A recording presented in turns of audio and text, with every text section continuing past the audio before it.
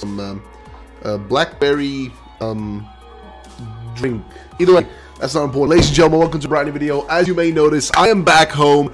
I'm back in Sweden at the moment. I'm back in my apartment, and I'm very happy. I'm also very tired. Okay, I'm very tired. The plane trip here was um, was kind of exhaustive, uh, and also the constant walking for a whole week was uh, very exhaustive um, due to the fact that um, it was very hot, hot, and uh, yeah, not used to it. So kind of interesting. By the way, ladies and gentlemen, I'm back from Italy, which means we're back to making content. We're back to talk about the latest information and stuff. And I thought today I'd cover a rumor here that popped up. I covered this rumor first in this video. And later today you might have a second video uh, maybe but you will have 100% guaranteed you will be getting from me a live stream. I'll be live streaming later today for you guys to bring you some like uh, you know just a little bit of a stream talking about what I've done. Also back there you can see actually wait wait over here right here. I think right here you can see I've actually got some figurines I bought specifically for the channel so I can open them on stream. And also I can just show them off like in the in like the back here and these things so they can be part of setup. So I'll be having those. But uh, yeah in simple terms, we've got a lot of things happening today, ladies and gentlemen. A lot of, uh, a, lot of a lot of things, okay? A, a, lot of, a lot of things. But before we get into any of that sort of stuff, guys, please drop a like down below. Let's get to a thousand likes for the return of uh, me being back in this country uh, where I can make uh, the videos to you guys enjoy. the way, let's get right into the actual rumor, kicking off right away. So this is the rumor that popped up that people wanted me to cover. It popped up last night, I think. Um, actually, two days ago specifically, but I, I think I only got sent it yesterday. Um, it's a pretty hefty rumor, by the way, also, this mustachio is going down. Uh, now, it starts off saying leak regarding Sword and Shield. Now, it starts off also by saying how many new Pokemon there will be and all that sort of stuff, as you may notice. But I just want to point out one thing when it comes to these sort of rumors. Whenever they give like an, a, like a bunch of numbers, I have a harder time trusting them. But who really knows, right? You never really know with these sort of things. So let's just see what else they have to offer us here. So 98 new Pokemon, uh, which seems like a pretty reasonable number in my opinion. I think 98 new Pokemon is a good number. I mean, I don't know about you guys, but I think it sounds to me like um a pretty good number, honestly. Uh, sounds pretty reasonable. Now, Next thing, uh, 24 new Galarian forms. Now, when it says Galarian forms, does he include Galarian evolutions as well, or just Galarian forms? Like, you know, like how we have Zigzagoon and we have uh, Noon and we have, like, you know, Weezing. Like, those are three. But if you include Obstagoon, which is the evolution, that'd be four. But I wouldn't include that one because it isn't really a Galarian form. It's Galarian evolution, which is a little bit different. So, I don't know, uh, like, you know, what he's implying to there. Like, um how that would work. If it's just the Galarian forms, then 24 sounds like a good number. Uh, does actually sound really, really good. I'm actually personally pretty happy with that if that is true. So, honestly, that one would be pretty okay in my opinion. Uh, also, just to lower the uh, music a little bit here so it isn't too loud. Uh, next thing, 15 G Gigantamax forms. Okay. Now, this seems like a little bit low, uh, but then again, if we do have, you know, if we have new Pokemon, we have, you know, Galarian forms, Galarian evolutions, and then Gigantamax forms, and then all Dynamax Pokemon, it seems like a a reasonable number. I will say 16 seems like a reasonable number. This seems like it's too off, too too low, too high. It's just like eh, okay, reasonable. I will, I will say. Uh, next thing, Grookey's final evolution is Grass Rock. So. Okay, now Grookey's evolution is one that's been a contested one because like people keep saying it's going to either be uh, grass ground or grass rock. Some people said like grass dark, mm, which I don't think is likely the most likely stuff here is a grass rock type. Um, and if not a grass rock type, then a grass ground type. Uh, but uh, potentially, if you think about it, wouldn't just the normal grass typing be enough? Because um, there's been a lot of like rumors saying it's going to be like a, a, drummer monkey, like he's going to be drumming, and it's going to be doing that sort of stuff. So if that is true, if that aspect of those rumors is true, then that would be uh, like it would be a little strange for it to have like a rock typing. A ground typing, I guess, would be a little bit reasonable, but a, you know, a dark typing would be the best for like a drummer monkey, I guess. Um, so I don't know. I don't know what you guys think about that. Let me know in the comment section down below. I'm a little bit, I'm a little torn about it. So let's continue that, shall we? So Sobble's is water poison, which, huh, that actually would make sense because if it's if it's gonna be like an like a like a spy uh, water type, right? Because we already know that because they, they, you know, we've been told it's going to be called Inteleon by the uh, Ben Affleck leak.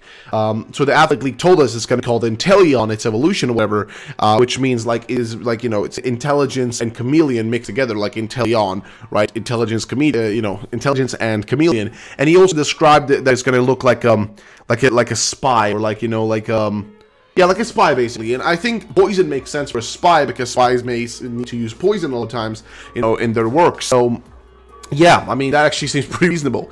And next thing, well, next one, of course, is Scorbunny is firefighting. which again seems reasonable. Uh, does seem like pretty straightforward. Though I do think the Ben Affleck leak said like pure fire something something fighting something. I don't know. It's it's like hard to tell because there was a lot of like grammatical errors in that uh, like leak. Uh, so I don't know. Now there's an electrical robot, uh, Botix, which is. Uh, Sounds like an interesting name. A dolphin called the Orbafin, and a squirrel, Squavet, we already know about. A little knight called Claudette, and a new deer car uh, called Fan Fancy. Fancy, okay, Fancy. Nosh, and several others. Impidimp evolves into a gargoyle called uh, Dargoyle. Dargoyle. Really? Dargoyle? Okay. Uh, Yamper evolves into a greyhound called Barkolt, which I guess would make sense because that would be like a, you know, bark and volt, or you know, uh, you know, bolt rather, bark and bolt, I guess, or volt, uh, whatever, whichever word you want to use. Uh, my point is that they're mixing, you know, words together there, which is pretty straightforward. And Gargoyle seems like an okay name, though I'm not really sure. But I mean, you guys can always let me know in the comment section now. But what your thoughts are on that? If you think it seems like a reasonable name, because I don't really know, man. I don't, I don't say, man. I don't know. Either way, next thing. Galarian forms for Jynx, Farfetch'd, Arbok, Houndour, Houndoom, uh, Pineco and Forretress, uh, Cacnea, Cacturne, Gl uh, wait, Glim Glameow, Purugly, Carnivine, and few others. Farfetch'd, Forretress, and Carn uh, Carnivine get evolutions. Ooh, that is a spicy combination. Hmm. That's actually pretty interesting. So Farfetch'd makes sense. Forretress would be cool to see what it would turn into. And Carnivine, I don't know. I've never really thought about Carnivine in that sense. So I don't know, man. This could be a really interesting, like, you know, turn of events. Honestly, think about it. This could be a really cool turn of events if they do this. So honestly, I mean, hey, they can really put, put something up, pull something off here. Now, Gigantamax forms for all Kanto starters, Pikachu, Meowth, Lapras, Machamp, and Empoleon. But why would you do only Empoleon? I feel like I've seen this in another rumor where they say Empoleon as well, but it's like, why Empoleon though? Like, why, why just Empoleon? Why not like, you know, um, I was gonna say Chimchar, but I'm stupid. I mean, like, why not like uh, Infernape, right? Why not that? Or, um, or Torterra, like, you know, why aren't they included? It's a little bit strange. Uh, the rest are for new Pokemon. One is for Bot uh, Botix. Another one was for an armored horse called uh, Kane. Okay. Um, now, next thing is that Duraludon isn't the pseudo legendary, pseudo legendary in this game. It's a Pokemon named uh, Regalius, Reg Regalus, a fairy dragon type. All right, the legendaries are legendaries are Steel Fighting, Steel Fire, and turns is a dragon, uh, Dark Dragon. As form change that makes steel makes the Steel Dragon. Ooh, okay. Hmm. That's interesting. That actually would be really cool that is true. Now, next one is that Meteor Dynasty Pokemon Drawn into, in, into the Hill. It's exclusive to max raid uh, raids in the post-game. And we heard it, the concept of Meteor being the Pokemon on the hill from a few other rumors, but no, no, none of them mention specifically that it's only going to be available in max raids and post-game. Which would be fun if it is true. Uh, the remaining gym leaders are Fire, uh, Fire, Poison Fairy, Ice Dark, Electric, and Dragon. If this is true, I love that, because I, I, do like the, the split gyms. I know a lot of people don't like them, but I, I personally do like them. I think they're pretty cool. Uh, reason why I think they're cool is because it's just like, it gives you a reason to own and play both games, right? Because a lot of people will buy both games, and I feel like you know it, it, makes sense then to actually have difference between them. And if you play, if you know, if like a younger player plays it, right? If like you're a kid, like back in when I was a kid and played it, right? If I told my friend about my, my playthrough, right, I would only really tell him about the different Pokemon I caught compared to him, uh, and a few minor differences. But if we have like, you know, nowadays I was a kid and I played like, you know, Sword and my friend played Pokemon Shield, I'd be able to tell him like, oh, dude, you know, I went to the third gym. It was just like, you know, a girl trainer and she was really strong, and I, you know, defeated her. She had fighting types, and he'd be like, oh, but in my game, I, I beat, you know, I beat um, a random like ghost uh, ghost trainer, and she was really scary, and she had a bunch of ghost types, and it was really cool. And I'd be like, you know, that, that actually like it makes it a little bit of a nicer thing, right? Because you have a little bit of a different experience than just having an identical one. Um, which I think is nice. Uh, though it would be more fun if they just had more gyms, like instead of eight gyms, like sixteen gyms. I get that you know they could probably do like have, spend the extra time. Like let's say we if we have like you know Poison Fairy, Ice Dark, and like you know and the already existing like uh, fighting and uh, you know Ghost type. That's like six gyms right there and then if we you know if we look at those gyms plus like the remaining three here and the two we already know about that's 11 gyms. You could have made 11 gyms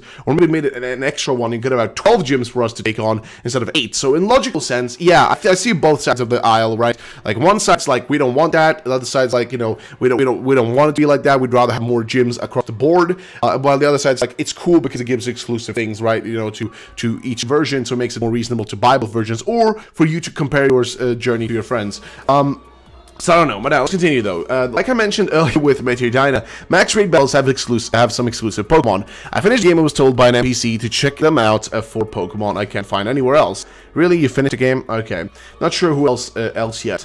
Now, the post-game consists of entering the city behind the Champions Cup at the top of the map. It's called the Urban Area and will let you challenge different trainers, including familiar ones. It also has quests you can take on. Now, I love quests, and I'd love if there was some in this game. That would be awesome. Now, Kalos won't be in the game, but there will be hints of it by NPCs at the train station. Someone says, I hear that our train lines are getting connected to Kalos. I can't wait to go there with my Pokemon. Might mean uh, nothing like uh, ORAS Battle Frontier, you know, little hint thing, uh, which is true. That never really led to anything at all. It was just kind of like a an off thing that was just kind of there, and we never they never really did anything with that either. So, it, possibly if this is true, this will be the same with the situation, right? It's not going to go anywhere, which is sad. Now, TBL follows Marnie because she's a runaway princess of the Galar region. The queen, her mother, asked them to keep an eye on her in uh, in a way that would not alert uh, the region's the region's civilians. Marnie told them that uh, until she beats the gym challenge, she isn't going back. They decided to support her until then. Uh, her number one fan is an under an unrevealed character and her personal uh, retainer. All right, Cedric. He will battle you in attempts to convince you to drop out of the challenge to make way for Marnie so she returns home sooner. Okay, now BD is an ambitious yet greedy trainer that manipulates people around him, including Chairman Rose, who didn't actually want to endorse him. Raised by a rich family who, uh, with no worries, he lacks compassion and doesn't care for those who strive to meet their goals. He wants to conquer the gym challenges and a Champions Cup to show that the system is too easy despite how hard people work, in attempts to demoralize effort. Now, Oleana is Magnolia's daughter and the mother of Sonia. She's the villain of the game. She has a, uh, a collectoid. She has been collecting energy emitted from Dynamaxing to power a device in her base meant to capture um, and control Eternatus. She wants to Dynamax it for the purpose of consuming Galar in shadow and create a world where dark is the new light. She's not very much like like uh, Lusamine. A little bit too much like Lusamine in my opinion, but whatever. Um, works with Chairman Rose to uh, encourage people into taking on gym challenges and use Dynamax. This is to supply Dynamax energy for her machines. The legendary of your game is used to defeat Eternatus in a different ways. Zacian is slash, will slash through the darkness with his sword and free Galar from it. Zamazenta will shield and protect everyone from the dark as it lights the sky with its protective flames, burning it away. There is no Elite Four. You can take on the Champions Cup, which works like a tournament similar to the anime. Leon is at the end. Uh, wait, his ace is Charizard, of course. Uh, then he Gigantamaxes, but he has a Regalius. And alright, that is uh, fair enough. That is the ladies and gentlemen. Let me know in the comment section down below your thoughts and opinions. And also, uh, question of the day: What is your favorite Pokemon so far from Pokemon Sword and Shield? Like the ones we've shown been so, been so far. Which is your favorite? This is only for those who watched all the way till the end. What is your favorite? Question of the day: What is your favorite Pokemon from Pokemon Sword and Shield so far? Okay, which one is it? Let me know in the comment section down below. Also, drop like down below, ladies and gentlemen. Let's see if we can hit that thousand likes for the return. And also, I'll be live streaming later today for you guys. So see you there. Have a great day and bye bye, ladies and gentlemen.